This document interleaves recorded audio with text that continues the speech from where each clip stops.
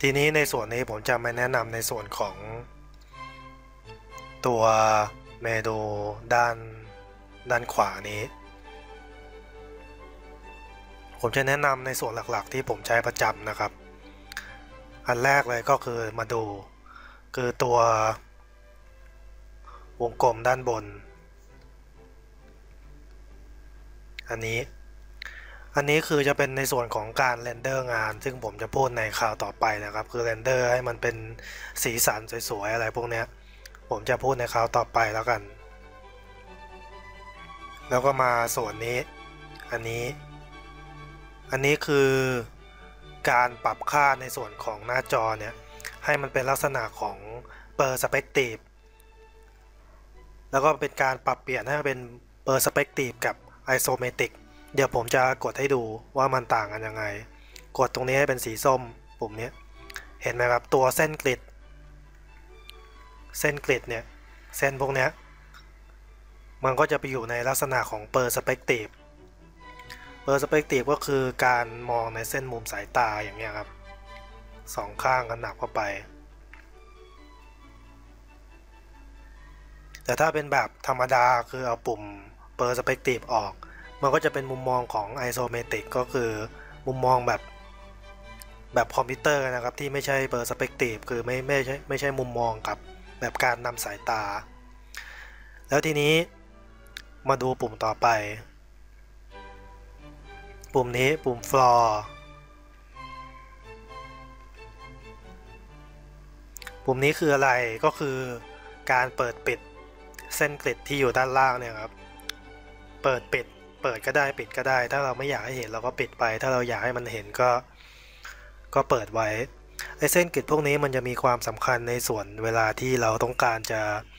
ดาบงานที่มันต้องใช้เส้นในภาษาว่าลูกเขาเรียกการตีสเกลนะครับ ก็เส้นกริดพวกนี้ก็ลักษณะการใช้งานก็จะคล้ายๆกัน จะคล้ายๆ กับการตีสเกลก็คือ เป็นการแบ่งช่องเพื่อเพิ่มความแม่นยำในการทำงาน สมมุติถ้าเรากดปิดไป เส้น grid ก็จะหายไป ถ้าเรากดกดเปิดมาเส้น grid ก็จะกลับมา ทีนี้ในส่วนเนี้ยเรามาขยายให้เห็นกันอีก step หนึ่ง เพราะว่ามันจะมีรายละเอียดปีกย่อยกันอีกนิดนึง คือสังเกตดีๆ จะมีตัวอักษร x y z ตัวเล็กๆ อยู่ตรงนี้ ในส่วนนี้จะเห็นสังเกตดีๆ จะเห็นว่าตัว y มันจะ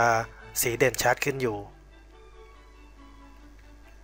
นี่ครับดูจะมีตัว y ที่สีเด่นเด่นชัดๆมาก ๆ ตัว y นี่คืออะไรตัว y ก็คือแกน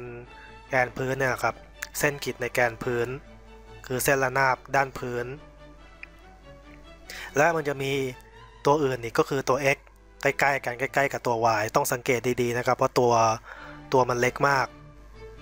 คือจะมีตัว x แล้วก็ตัว z อยู่ข้างๆตัว y ให้เราใช้เมาส์กดไปที่ตัวตัว x เส้นกริดด้านข้างก็จะเกิดขึ้นมาเหมือนกัน เนี่ยครับดูด้านตรงก็ได้จะเห็นชัดจะเป็นด้านด้านพื้นแล้วก็ด้านข้าง แล้วถ้าเรากดตัว Z ขึ้นมาอีกตัวหนึ่ง มันก็จะปรากฏเส้นกริดด้านหลังขึ้นมาอีก เส้นกริดนี่ บางทีถ้าปั้นอะไรทั่วๆไปเขาก็ไม่ค่อยใช้กันนะครับ เพราะว่ามันโลกหูโลกตา แต่ถ้าแบบใช้งานกับงานที่ต้องการความแม่นยำสูง พวกสัดส่วนพวกสเกลอะไรพวกนี้ไอ้เส้นพวกนี้มันจะมีความสำคัญพอประมาณ ก็เหมือนกับการวาดรูปทั่วไปครับที่ใช้การตีสเกลเส้นอะไรพวกนี้ แล้วถ้าต้องการปิดไปก็ปิดกดตัว x ออก กดตัว z ออก ให้เหลือแต่ตัว y ตัวเดียวก็ได้ หรือไม่ถ้าถ้าต้องการไม่ไม่ให้มันขึ้นเลยก็กดปุ่มนี้ออกไปปุ่ม floor ตัวเส้นกริดมันก็จะหายไป ทีนี้มาดูในส่วนของ และทีนี้มาดูในส่วนของตัวนี้ตัวเฟรม ตัวเฟรมนี่คืออะไร คือการ ย่อขยายตัววัตถุ อันนี้ทั้งหมดให้มันเต็มหน้าจอ ผมมาลองกดดู จะนี้จะไม่เห็นผมจะลองซูมให้มันออกไป ไกลก็ลองกดตัวนี้ดูปุ๊บอ่าหน้าจอตัววัตถุมันก็จะขยายเต็มหน้าจอ หรือไม่ก็วิธีง่าย ๆ ก็คือกดคีย์ลัดเป็นตัว F ที่คีย์บอร์ด มันก็จะขยายเหมือนกันที่หน้าจอ แล้วทีนี้มาดูตัว move อันนี้อยู่ข้างล่างตัวตัวเฟรมคืออะไรตัวนี้ move คืออะไร ถ้ากดค้างที่ตัว move มันก็จะเป็นการขยับ ขยับซ้ายขยับขวาขยับบนล่างขยับได้ตามอิสระเลยครับ แล้ววิธีถ้าไม่ใช้ปุ่มนี้ใช้อันไหน โดยการกดปุ่ม alternate ที่คีย์บอร์ด แล้วก็คลิกเมาส์ไปที่พื้นที่ว่าง มันก็จะสามารถเคลื่อนที่ได้เหมือนกัน ผมจะเน้นให้ใช้ตัวคีย์ลัดน่าจะดีกว่านะครับ น่าจะสะดวกกว่า แล้วก็ทีนี้มาดูปุ่มซูม ชื่อก็บอกอยู่แล้วครับว่าซูม ก็กดค้างไว้ที่ปุ่ม จะเป็นการซูม ซูมเข้า ซูมออก ซูมเข้า ซูมออก แล้วก็มีอีกวิธีหนึ่งก็คือใช้ปุ่มคีย์ลัดเหมือนกัน โดยการกดปุ่ม alternate แล้วก็คลิกที่ที่ว่าง มันจะเป็นถ้าปลดกด alternate ค้าง มันจะเป็นการเลื่อนตัวใช้ move แต่ถ้าเป็นเอาปุ่ม alternate ออกนะครับ ให้เหลือแต่การคลิกเมาส์ที่พื้นที่ว่าง มันก็จะเป็นการซูมเข้าซูมออกได้เหมือนกัน มันจะคล้ายๆกันนะครับ ระหว่างปุ่ม move กับปุ่ม alternate ถ้า move โดยใช้คีย์ลัดเนี่ยก็คือ กด alternate กดที่พื้นที่ว่างค้างพร้อมกัน แต่ถ้าเป็นการซูม ให้ปล่อยปุ่ม alternate ที่คีย์บอร์ดออกจะเป็นการซูมนะมันจะทำงานคล้ายๆกัน หรือไม่อีกวิธีหนึ่งก็คือใช้ปุ่มเครื่องหมายบวกเครื่องหมายลบที่คีย์บอร์ดนะครับมันก็จะซูมเข้าซูมออกได้เหมือนกัน ซึ่งวิธีนี้ก็เป็นวิธีที่ผมใช้ประจำนะครับอ่าครับต่อไปคือปุ่มนี้นะครับ ปุ่ม rotate rotate คือรายการหมุน การหมุนตัววัตถุ ก็กดปุ่มค้างไปแล้วก็หมุนหมุน หรือไม่ก็ไม่ต้องกดปุ่มนี้ก็ได้ก็เอาเมาส์มาคลิกที่พื้นที่ว่าง มันก็จะหมุนได้เหมือนกัน แล้วต่อมาปุ่มนี้ คือเป็นปุ่มของการแสดงตัวโพลีกอนในตัววัตถุ พวกนี้นะครับ ทีนี้เรามาลองกดดูนี่ครับมันก็แสดงมันก็จะแสดงเป็นตัวโพลีกอนของตัวชิ้นงานโพลีกอนคืออะไรคือ ตัว 3D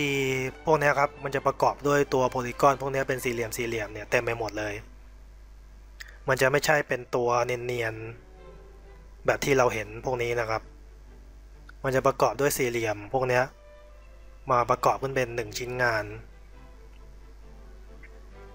แล้วตัวโพลีกอนเนี่ยมันจะเยอะจะน้อยก็ให้ดูด้านบนครับ ด้านนี้ ด้านนี้คือจำนวนโพลีกอน จำนวนโพลีกอนที่มันอยู่ในตัวชิ้นงาน